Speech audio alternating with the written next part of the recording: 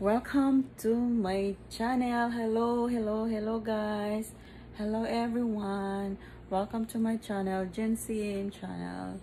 So guys, today I'm gonna make a upside down cake.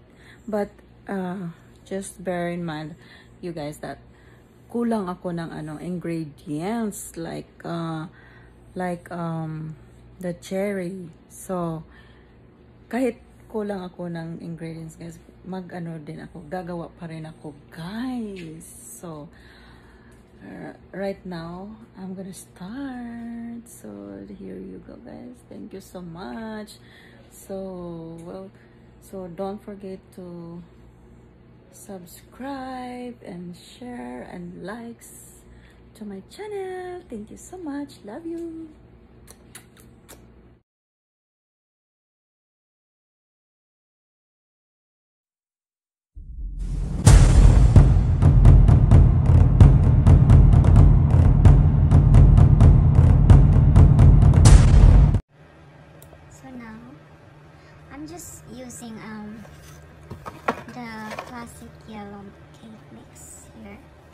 This is the one.